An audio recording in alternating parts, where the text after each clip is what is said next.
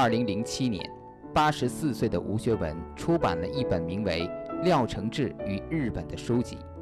尽管他以前也曾出版过一些书，但吴学文最看重的还是这本书，因为书名中的廖承志和日本，在吴学文的人生中占据着重要的地位。吴学文，原新华社记者，二十年的中日复交谈判，二十年的东京报道，伴随着一篇篇新闻报道，吴学文走过了北京与东京之间冰雪消融的岁月。廖承志，中国著名外交家，在中华人民共和国建立初期，廖承志担任中日建交工作的总负责人。而就是在五十六年前，廖承志的一句话改变了吴学文的一生。五二年的秋天，在北京召开的亚洲及太平洋和平大会，啊，在这个会上呢，我遇到了廖承志先生。我们对廖廖公是早就闻名了，但是这是我第一次见到他。他听到我是士官校毕业的，啊，又懂日文。所以他就说是你以后来和我一块儿搞对日工作，你准备一辈子干这个工作。我当时还不到三十岁啊，啊，这个感到这个提法还一时脑子转不过来啊，也一辈子这现在就决定一辈子事情。就在这次亚太和会之后，廖承志将吴学文调入新华社，负责中日建交方面的报道。当时的中日关系是非常非常不好的，非常严峻的。我们当时也没有记者能够能到日本去，因为按照当时日本政府的政策，就是对于共产国家，呃去的人呢，他是不发护照的。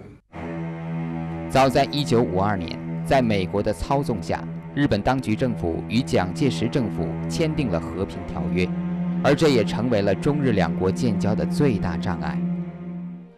于是，中国决定采取民间外交的政策，而帮助在华日侨回国，成为这个政策指导下的一项重要工作。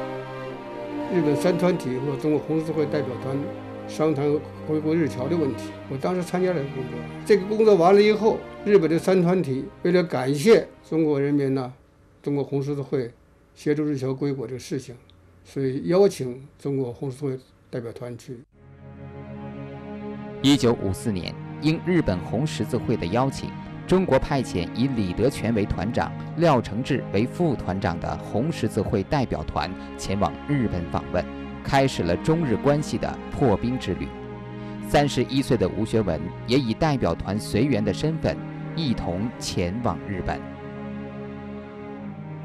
国民党还有这个美国特务，准备对这个代表团进行阻扰。甚至于有消息要要暗杀，暗杀廖承志啊，暗杀李德全，所以我们到香港去的时候，呃，香港工委啊，香港新华社，新华社的社长，都到我们驻地来来站岗保卫我们。在代表团到达香港后，吴学文负责给代表团办理签证事宜，但当吴学文去办理时，日本领事馆工作人员给吴学文签发的却是一张叫渡航证明的文件。那么到日本去的目的什么呢？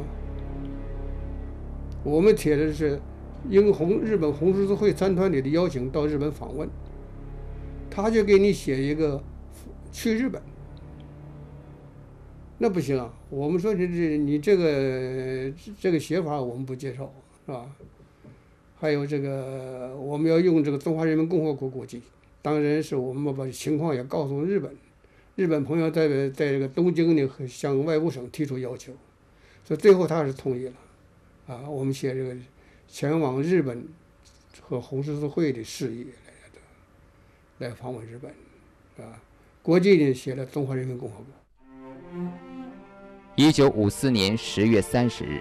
当吴学文等人到达东京羽田机场时，眼前的情景让他们始料不及。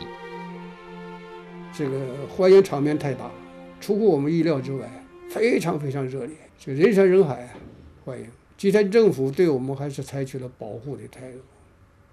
哎，他派出的警察，过去就是给外外外国元元首访问日本时候，来警警备的一个体制都拿出来了。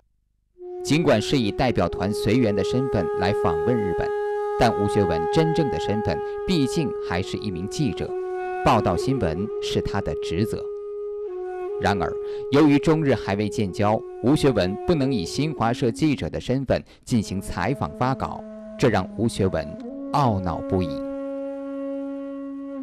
没办法，我就出去这个呃找华侨，去想办法。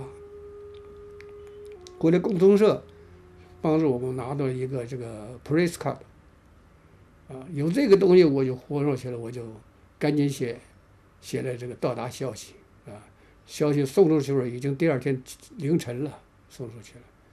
但是这就是新中国记者发到东京的第一报。中国红十字会第一次访问日本的成功，极大地推动了中日两国民间的各种来往。而中日两国的关系变化也成为了吴学文报道的重点。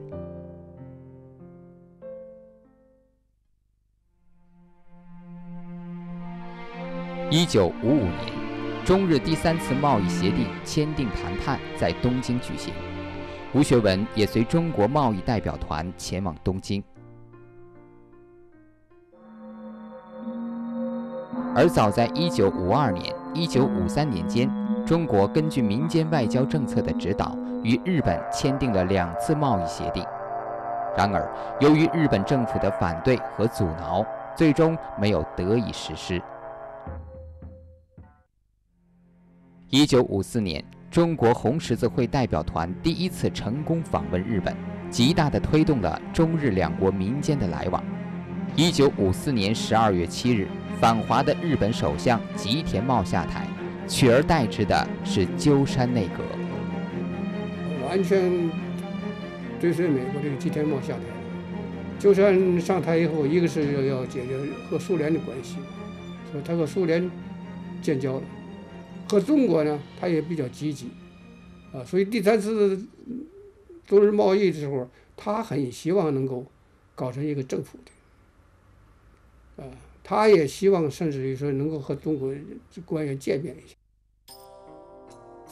一九五五年，应日本方面的邀请，中国派遣以外贸部副部长雷任明为团长的贸易代表团前往东京签订第三次贸易协定。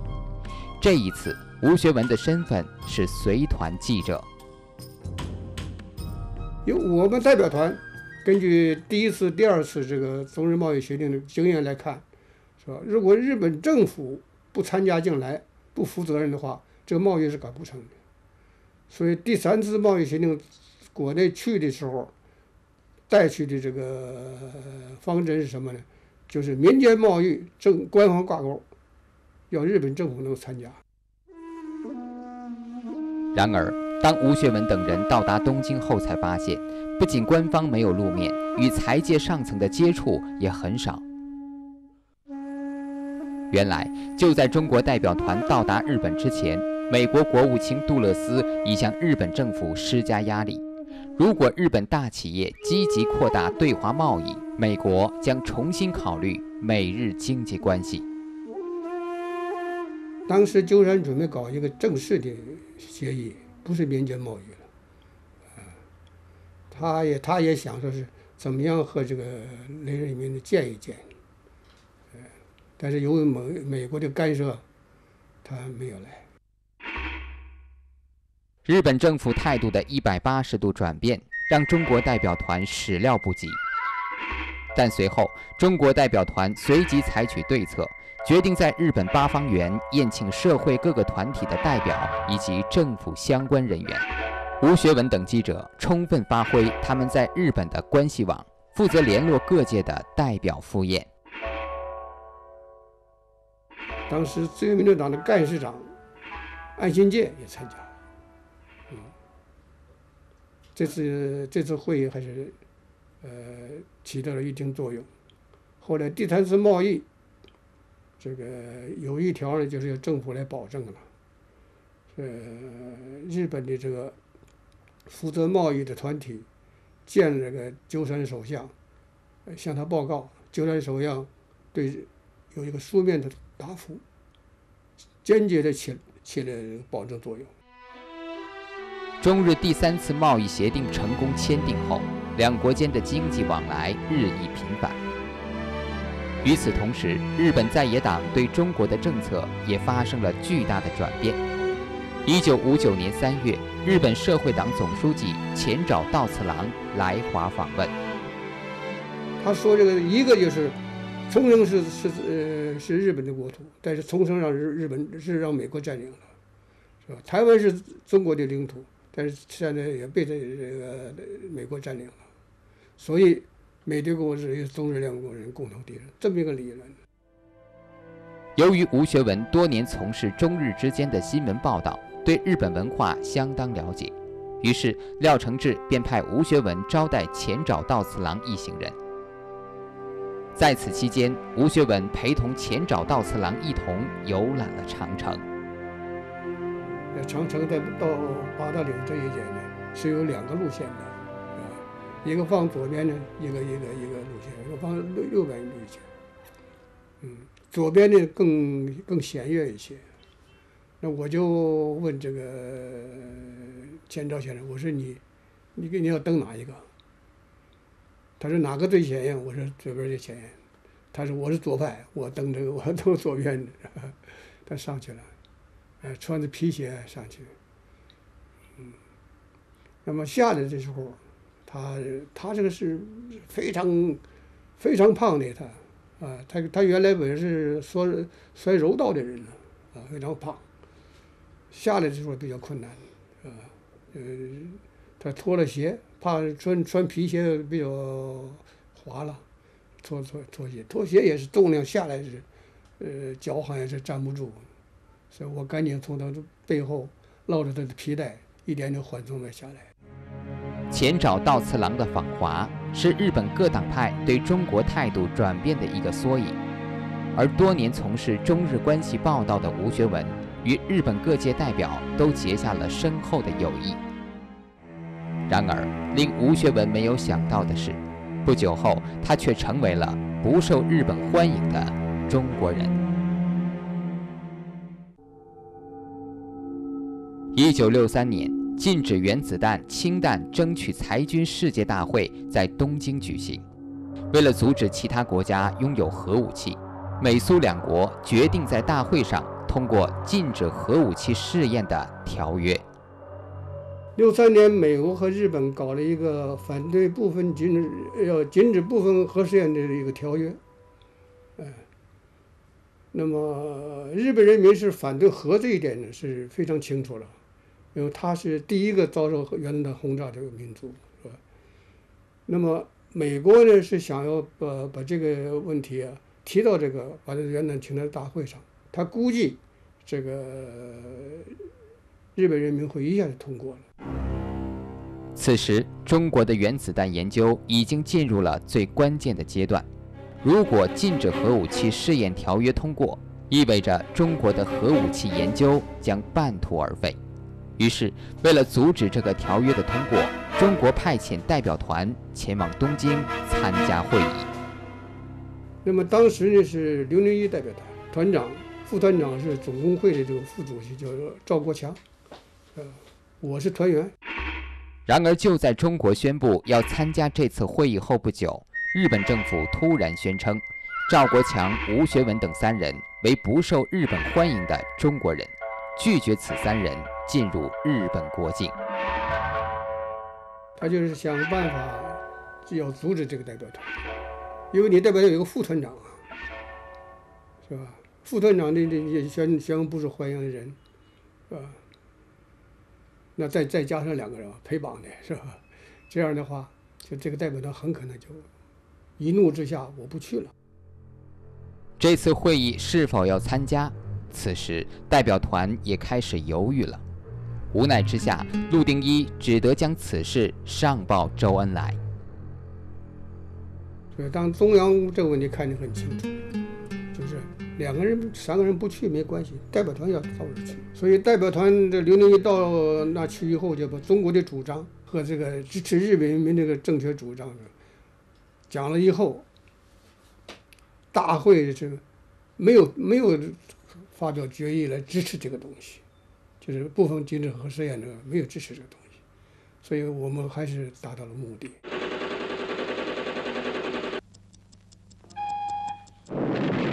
就在陆定一等人参加完这次会议后的第二年，一九六四年十月十六日，中国第一颗原子弹爆炸成功。也就在这一年，中国国际贸易促进会主席南汉宸访问日本，在廖承志的安排下，吴学文以新华社记者身份决定随行前往东京。但吴学文再一次成为了不受日本欢迎的人。当时日本的法务大臣是一个是极右的，他说是这个吴学文这个人已经是宣布过不受欢迎了，他表示不同意了，但是没有定下来，就有这个风了。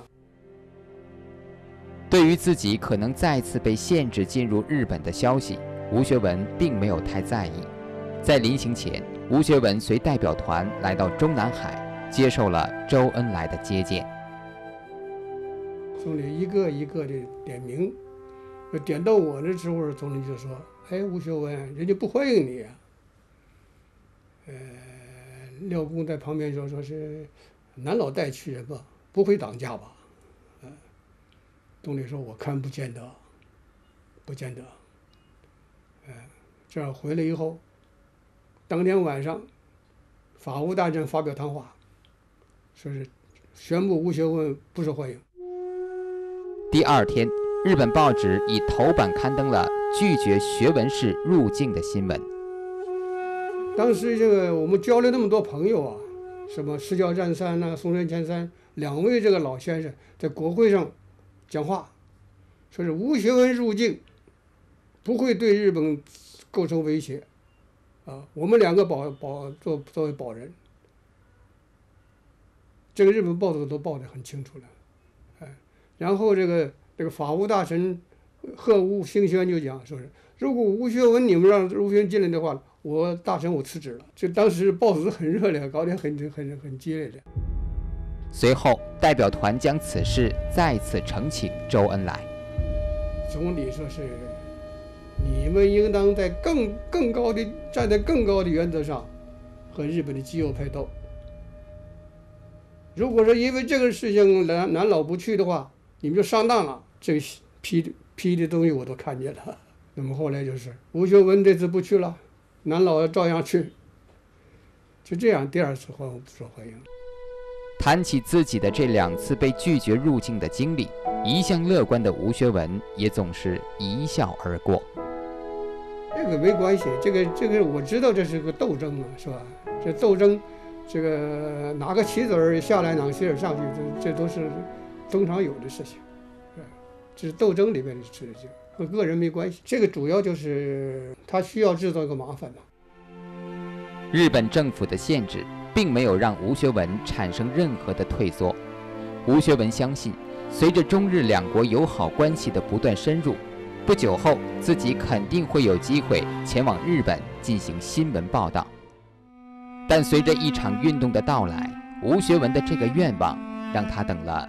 整整十年。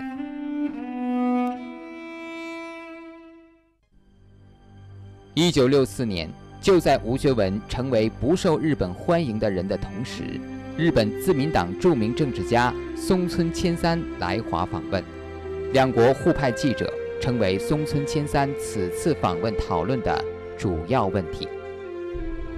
松村千三来了，一下就把这个廖承志高级大使办事处。驻东京和驻北京的代代表团、代表处的问题解决了，解决了。说当当年九月，中日就互相交换记者，因为我还以为不受欢迎的问题，说交换记者没有我份儿，我没有去。就在吴学文等待着再一次前往东京的时候，一九六六年文化大革命开始了，廖承志被停止对日的工作，吴学文前往日本的事也就此搁浅。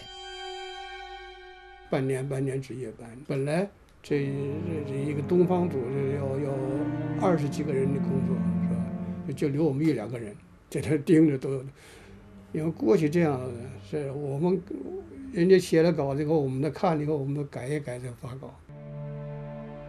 不能出去采访的吴学文，每天的工作便是将驻外记者在国外发回来的稿子进行重新编辑。这样的日子，吴学文过了整整六年。一九七二年七月的一天，吴学文突然收到了一条来自日本的消息：田中角荣当选日本首相。第一次这个天龙诸葛这个消息是。我写的，啊，写的比较简单。当时是是军代表看不了稿子，所以什么东西都送给总理，总理当了我们的总编辑。当时的情况是这样的，所以我写的稿子，第一个稿子送上去，总理就就退回来。所以这个这个稿子编辑没有赶上，没有没有这赶上形势，重写。一九七二年二月二十一日，尼克松访华。美国对中国的政策发生了巨大转变。同年七月七日，一直跟随美国的日本佐藤内阁倒台，一直对中国持友好态度的田中角荣当选首相。上台后的田中角荣发表了希望恢复中日邦交的主张。这个批评我受到以后呢，我就就就了解了，那么多这个积极的话为什么不用呢？所以就。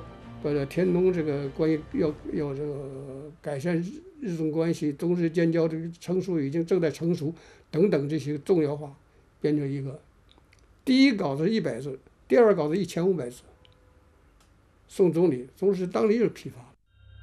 就在消息发布的第二天，在欢迎也门民主共和国代表团来华访问的宴会上，周恩来发表讲话，对田中角荣恢复中日邦交的主张。给予了积极的肯定。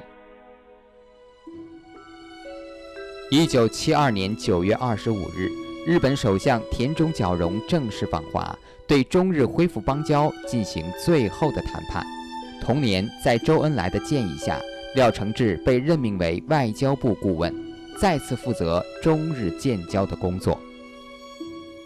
中日建交的时候，田中到北京来说。随行记者有八十六名，这个廖公让我呢，这个接待这个代表团，所以这个天东首相登当长城的时候，我是跟他一块儿去的，而且我问了他，我说是，呃，这一节是尼克松来是登的，你你天东先生你登哪一个？他说我要往往前走一走，所以他比连尼克松更高一层登上了。这说明他走得快啊！他先建交了，美国比美国后来才建的交。一九七二年九月二十九日，中日联合声明正式签订。在吴学文从事对日新闻报道二十年后，中日两国正式建交。一年后的一九七三年，以廖承志为团长的中日友好协会对日本进行访问。这一次，廖承志再一次将吴学文的名字放在了随团记者的名单上。代表团秘书长孙明化，在这个送这个代表团名单去签证的时候，他日本的公使看到我的名字也很奇怪，他说：“哎，这个吴先生也也去吗？”啊，他说：“是啊，他这次要负责报道，啊，他也没吭声。”所以老宋回来以后就和我说：“这这事儿你还是悬呐，还是悬。”我说无所谓，你悬就悬，不去就去，不去就算了。嗯，隔了三天以后，日本大使发了这个欢送代表团访问日本的这个一个酒会，给我发了请帖。当天晚上，这个总理又接见这个这个代表团。呃，总理和我握手时候还讲说：“嗯，这次你去成了。”就这么 就这么这个这个这个接近了。一九七二年，吴学文随中日友好协会来到东京，再次踏上这片十年来一直不欢迎自己的土地，他感慨万千。用吴学文自己的话说，他只是一个陪绑者。而当那些不愉快的经历都成为记忆时，剩下的只有中日两国关系二十年来由冷而热、由阴转晴的喜悦。